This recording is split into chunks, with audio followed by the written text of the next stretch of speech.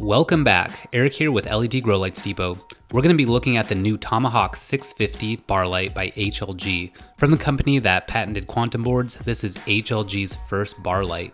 You might be thinking that HLG is a little late to the game with a bar light and wondering why they decided to go with this unique design, but ultimately you want to know if this light delivers.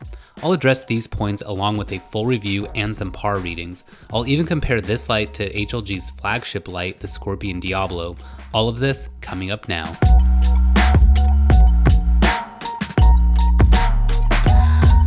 Before I get into the meat of the review, I want to say that HLG also makes a Tomahawk 720.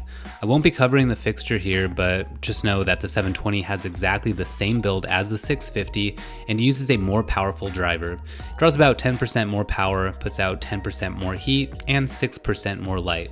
Okay, now let's peel back the layers of the Tomahawk 650. This fixture comes folded in half in a discrete brown box.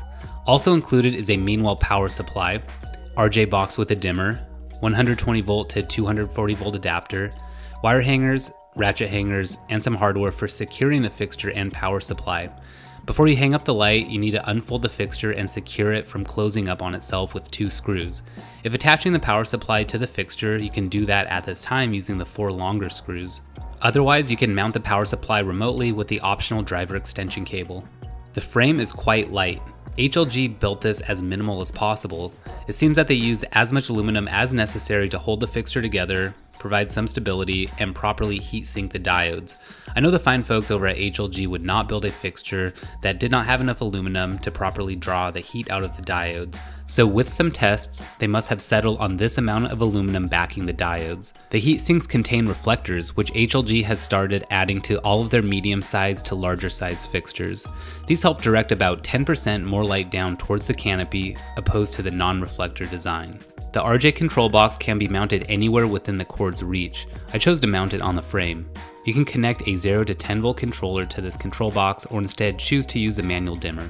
This fixture contains full spectrum cool white diodes and 660 nanometer deep red diodes. There are not any UV or far red diodes in this fixture.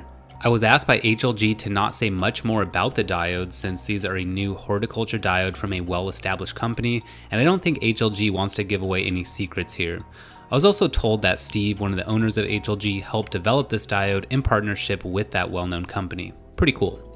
Sometimes growers get wary when they don't know the exact diode model in the fixture. This is a bit overrated in my opinion. What is more important is the PPF and PPE of the fixture as a whole, not just what the specs say on the diode datasheet. The photon flux and par efficacy of the entire system is what matters, the entire system being the diodes, driver, and all. Take AC Infinity's new Ion Frame series as an example.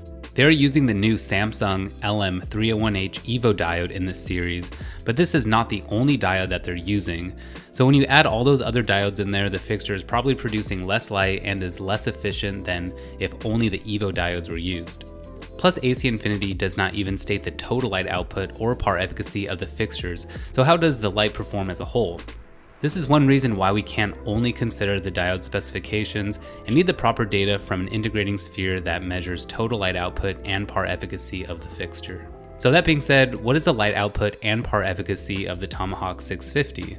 Well, the fixture produces 1859 ppf at 2.8 ppe, which is pretty darn good. It's not HLG's best performing light, but it's definitely up there. HLG states that this light draws 650 watts, which is pretty close to what I got when I tested it with a Kill A Watt meter. The coverage area of this fixture is a strong 4x4 or up to a 5x5 depending on how much light you would like to bathe your plants in. If you're used to putting about 1700 micromoles per second of light in a 4x4, you'll want about 2600 ppf for a 5x5 to get the same amount of light per square foot. Therefore, you can see how this light trends more towards a 4x4 coverage area at only 1859 ppf, but the beginner to average home grower would still be able to use this light in a 5x5 tent to grow some nice plants. HLG has published two par maps for the Tomahawk 720, one at 12 inches and one at 18 inches. We can adjust these values down by about 6% to get the PPFD readings for the Tomahawk 650, since there is about a 6% difference in light output between the two lights. 6% is pretty small, so the readings that you see on the PAR maps for the 720 are just a bit higher than what the 650 would come in at. These readings appear to not have been taken in a grow tent based on the lower PPFD readings at the edges and corners, so take that into consideration when judging these PAR maps. Many growers using an LED grow light will be using it in a tent or in an application where there are several lights in a single area, and this would reduce hotspots and increase uniformity. Now here are my PAR readings in a 4x4 grow tent. Alright, first reading is at 36 inches, right around 900 in the middle, and I'm just gonna move it back here. And I apologize for the wrinkly uh, mat here with the dirt in front. That's usually not how I like to roll. So I'm moving to this corner, about 700. And this other side, about 780. So really good uniformity at 36 inches. I wouldn't suggest flowering at this height. If you're gonna flower um, with this light, definitely gonna wanna hang it closer so 36 inches is kind of showing you what you'd be getting through the canopy. So at 18 inches into the canopy, uh, these are some of the readings that you'd be looking at. All right, next reading 24 inches, about 1150 in the middle. Some pretty good intensity. Moving to the back, about 920 corners, just about 770 or so. And this side looks like about 900. So 24 inches would be the height that I would recommend um, for flowering for most people.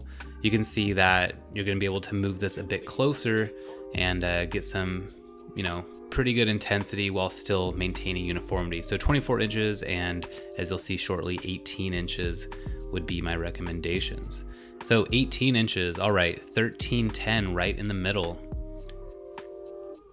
And then still holding that uniformity fairly well, still over a thousand on the edges, corners,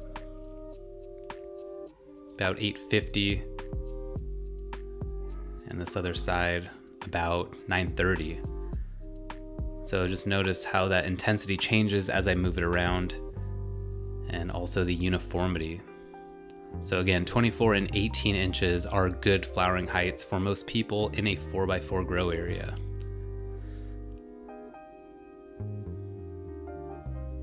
All right, just gonna keep going here a bit and back to the center. All right, 12 inches, 1500 ppfd right in the middle. And just notice how that's changing as I move it to the back. About 1180 corners about 800, so a lot less uniformity here than these farther heights, and about 960 on this side. So great intensity here, just low uniformity um, overall. So, and I apologize for the light moving here. I think I was bumping it when I was taking these readings, or at least bumping the tent, which was hitting the light. So again, that's usually not how I like to do it. A little sloppy here, but you get the main point. You uh, are able to see how the intensity changes throughout the tent and how that uniformity is also changing. All right, so does this light live up to its expectations? Yes, it certainly delivers. Top of the line components meets minimalist design meets HLG, a recipe for a great light. Its design is quite novel, or different, which may be a turnoff for some growers, but you shouldn't let aesthetics get in the way of performance. The reflectors are such a great move and you don't see many companies use a reflector design to increase delivered light to the canopy, except perhaps Mars Hydro on their TS series. As LED grow lights have evolved, there have been a plethora of copycat companies building off of Fluence's bar light design. So HLG took their sweet time before entering the bar light market, wanting to make a bar light, well, HLG style, and entering when it was the right time for them. Some people say a few years too late, but quantum boards have worked for HLG since the beginning and are still working quite well for growers. Is this bar light a new direction for HLG or just a one off to say that they have a bar light? Only time will tell. How does this light compare to the Scorpion Diablo V2? The Diablo V2 draws about 10% more watts, puts out 10% more light, is about 6% more efficient, but is 30% more expensive. Overall, the Diablo V2 is a better light, but may not be for growers looking to save some money and not deliver too much light to their 4x4 area.